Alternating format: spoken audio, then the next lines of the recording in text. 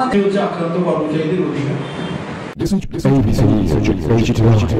You're watching ABC News HT9.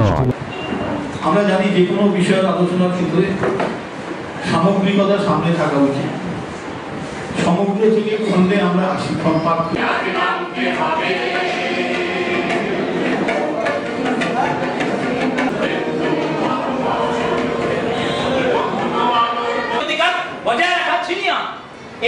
অধিকার এবং এই ঐতিহ্যকে বজায় রেখে আমরা কিছু কর্মসূচি নিয়েছি। আমরা আগামীকাল বাইশে সেপ্টেম্বর আমাদের সেন্ট্রাল অধিবেশন করব। সেখান থেকে নিঃসন্দেহে আমরা কিছু দাবি সনদ নিয়ে কিছু আন্দোলনের কর্মসূচি নিয়ে আমরা বেরিয়ে যাব। তার নিরিখেই, তার সেখান থেকে সিদ্ধান্ত নিয়ে আমরা আজকে আমাদের এই যে কনভেনশন আমাদের যে সেমিনার করছি, তার থেকে যে নির্যাস বেরোবে তাকে একত্রিত করে ঐক্যবদ্ধ আন্দোলনের মধ্য দিয়ে যে ভয়াত্ম পরিবেশ তারা সৃষ্টি করে রেখেছে, অর্থাৎ মোট কথা হচ্ছে কথা বলা যাবে না, এই যে মত প্রকাশের বাধা দেওয়ার যে পরিবেশ তারা সৃষ্টি করে রেখেছে, তাকে ভাঙতেই হবে, এই ভাঙার যে সংকল্প এখান থেকে আমরা নিয়ে বেরিয়ে যাব এবং এই আন্দোলন শক্তিশালী করে তাদের যে চাপ, এই চাপকে আমরা প্রতিহত করব। আমরা নিশ্চয়ই জানি মানুষ বুঝছে, কর্মচারীরা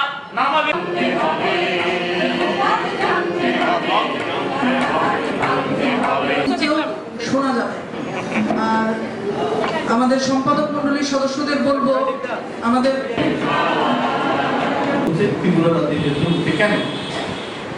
এর একটা বড় কারণ যেটা, সেটা হচ্ছে এই যে বিগত সময়কালের পরিস্থিতিকে যদি আমরা দেখি, বিশেষ করে দু হাজার আট সালের পরে বিশ্বের যে পরিস্থিতি, অর্থনৈতিক মহামন্দা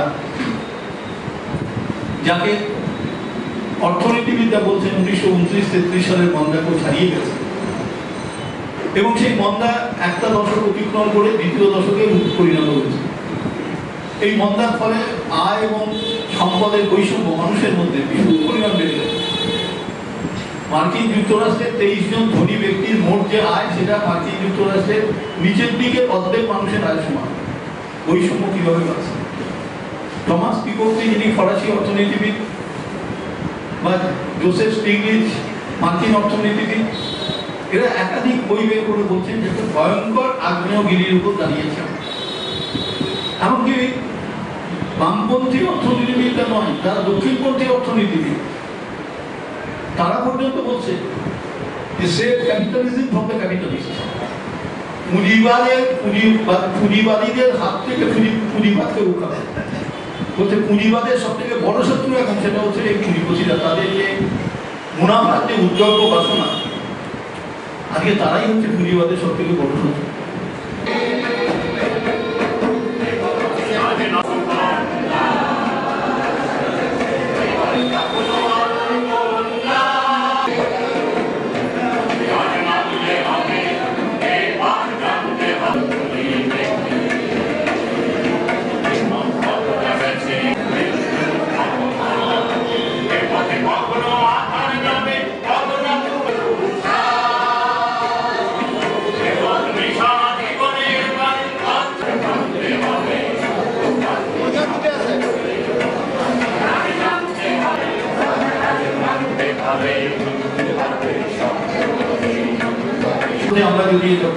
খুব এক কথা যদি আমাদের বলা হয়।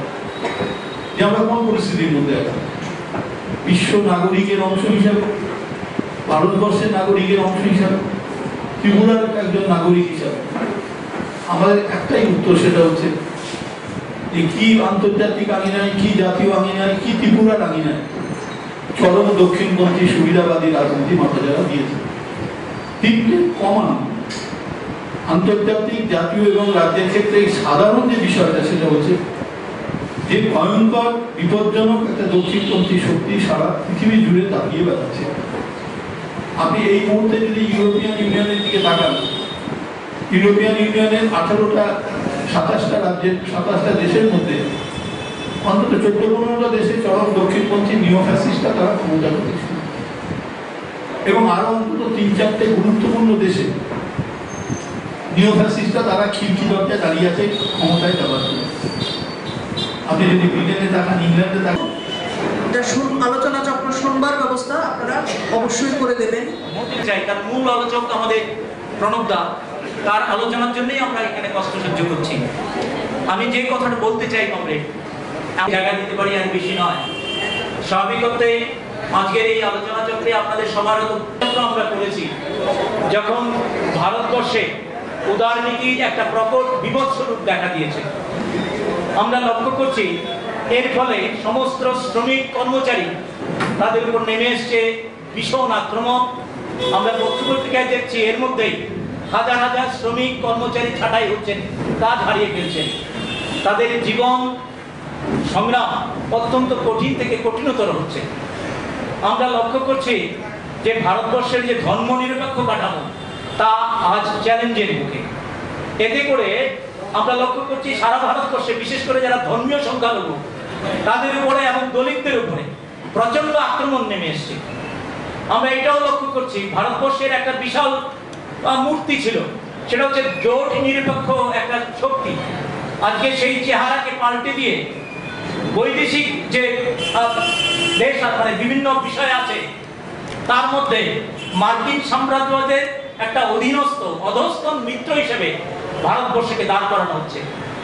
এর ফলে আমরা লক্ষ্য করছি, ভারতবর্ষে তার যে সাংগঠনিক সাংবিধানিক বিভিন্ন প্রতিষ্ঠান আছে, সেখানে আক্রমণ নেমে এসছে। আমরা লক্ষ্য করছি যে আজকে পত্রপত্রিকায় এটা চাপা নেই যে ভারতবর্ষের বিচার ব্যবস্থার মধ্যেও হস্তক্ষেপ করার বিষয়গুলো সামনে চলে আসছে। এর ফলে আমরা এটা লক্ষ্য করছি, সারা ভারতবর্ষে গণতন্ত্রের উপর প্রচণ্ড আক্রমণ নেমে এসছে। আমরা যদি এই নিরিখে ত্রিপুরা রাজ্যের দিকে তাকাই, তাহলে নিঃসন্দেহে আমরা দেখব গত আঠারো থেকে উনিশ মাস এই দেশে একটি সাংঘাতিক রকম ভয়াবহ পরিবেশের, সন্ত্রাসের পরিবেশ এখানে কায়াম করা হয়েছে। আমরা লক্ষ্য করছি, এখানে মানুষ কথা বলতে পারছেন না। মত প্রকাশের অধিকার এখানে এখানে একটি জঘন্য অপরাধের পর্যায়ে নিয়ে যাওয়া হচ্ছে। যারা মত প্রকাশ করতে চাইছেন, তাদেরকে অপরাধী হিসাবে চিহ্নিত করা হচ্ছে। এমন একটা বিষয়। আমরা এটাও লক্ষ্য করছি এ রাজ্যের যিনি শাসক দলের প্রধান, তিনি আবার সরকারেরও প্রধান, তিনি দম্ভের সঙ্গে ঘোষণা করছেন যে সব শিক্ষক কর্মচারী কথা বলতে চান, তাদেরকে ঘাট ধরে বাড়ি পাঠিয়ে দিন ধর্মঘট করলে তাকে জেলে পুরে দিন। এইরকম একটা অবস্থা। আমরা এটাও লক্ষ্য করছি, এই আঠারো মাসের মধ্যে কর্মচারীদের অর্জিত অধিকারগুলো একে একে লুট করে নেওয়া হচ্ছে। এর বিরুদ্ধে কিছু কথা বলতে চাইছে না, কথা বললেও কণ্ঠপাত করার ধৈর্য তাদের নেই। আমরা নিজে লক্ষ্য করছি, এই ক মাসের মধ্যে এ রাজ্যের যে নিশ্চিত পেনশনের অধিকারটা ছিল, তা ছিনিয়ে নেওয়া হয়েছে। বারো শতাংশ ডিএ পাওনা রয়েছে, সেই পাওনা সম্পর্কে একটু শব্দটি করতে দেওয়া হচ্ছে না। আমরা লক্ষ্য করছি, দীর্ঘদিনের অর্জিত অধিকার ডাইন হার্মেসের অধিকার, তাকে সত্য সাপেক্ষ করে দেওয়া হয়েছে, পঞ্চাশের পরে আর পাওয়াই যাবে না। আমরা লক্ষ্য করছি, বিভিন্ন বিষয়ে কর্মচারীরা চাপের মধ্যে আছে, অফিসের মধ্যে কথা বলতে পারছেন না তাকে জোর করে কাজ করানো হচ্ছে, একজনকে তিন চারজনের কাজ কাজ করানো হচ্ছে। অথচ যেখানে বলা হয়েছিল যে সরকারি আসার সঙ্গে সঙ্গে পঞ্চাশ হাজার লোকের চাকরি দেওয়া যায়। হ্যাঁ এটা ঘটনা। আঠারো হাজার পোস্ট এই মুহূর্তে নেওয়া যায়। কিন্তু সেখানে নিচ্ছেন না। কর্মচারীদের ত্রাস সন্ত্রাস সৃষ্টি করে সেখানে ওভারটাইম খাটানোর চেষ্টা করছে, পরিবর্তে কোনো স্বার্থ দিচ্ছে এই বিষয়গুলো নিয়ে টিকিয়ে বিভিন্নভাবে সেখানে প্রতিবাদ আন্দোলন করতে চেয়েছিল, মিছিল করতে চেয়েছিল। আপনারা সবাই জানেন সেই মিছিলের প্রস্তুতি আমরা দশ দিন আগে নিলেও, আগের দিন রাত্রে গভীর রাত্রে বলা যায়, সেখানে ওভার টেলিফোন প্রায় ফেটে শুতে বলে দেওয়া হয়েছিল যে কালকের মিছিল কোনোভাবেই করা যাবে না।